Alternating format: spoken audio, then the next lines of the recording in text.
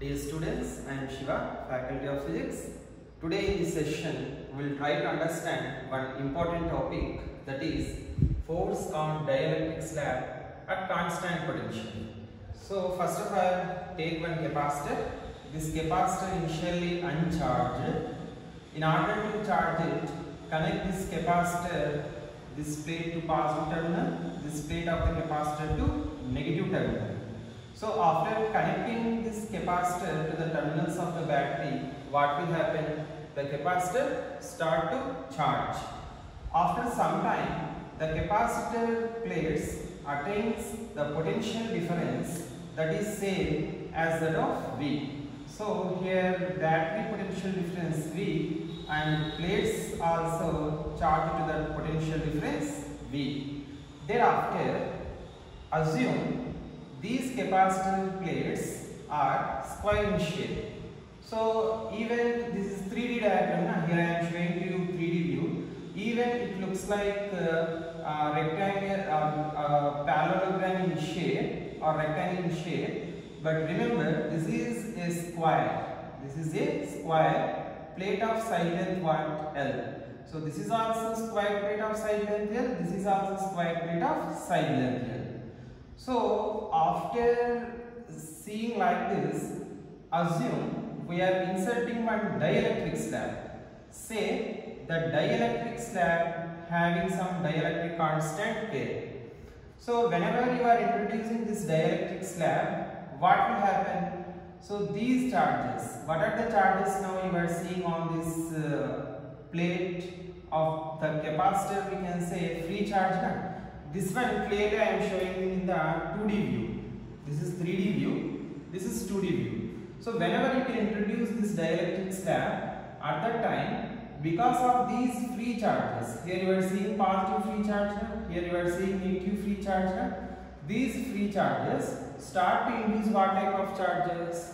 Induced charges on the face of this dielectric. This positive free charge creates negative free charge. This negative free charge creates positive free charge. Now observe carefully. This positive charge attracts this negative charge. This negative charge attracts this positive charge.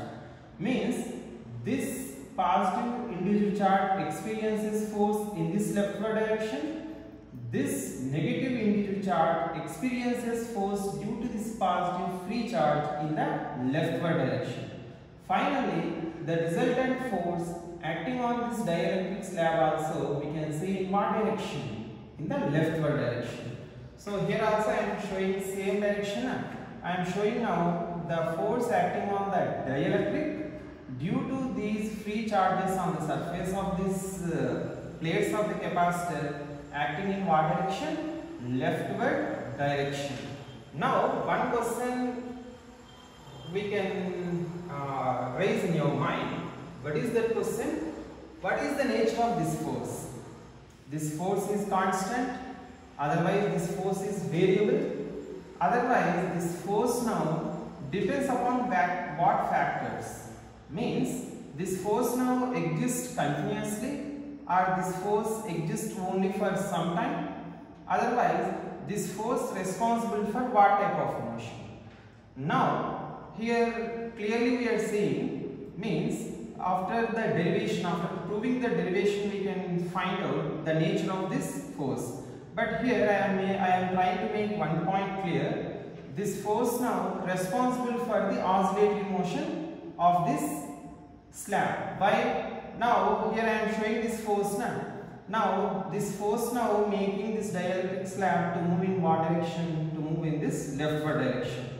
Whenever this dielectric slab completely fits between the plates of this capacitor, suppose I am saying the distance between the plates of capacitor is d.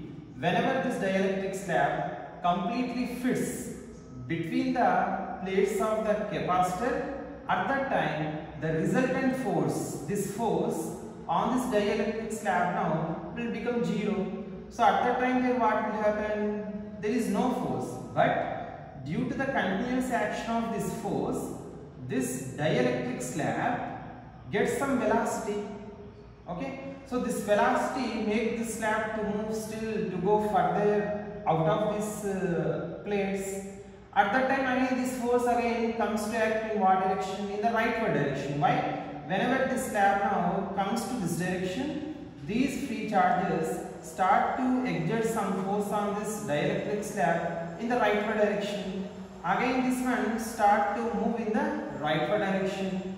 Again whenever it fits in the plates, in between the plates, again this force is 0.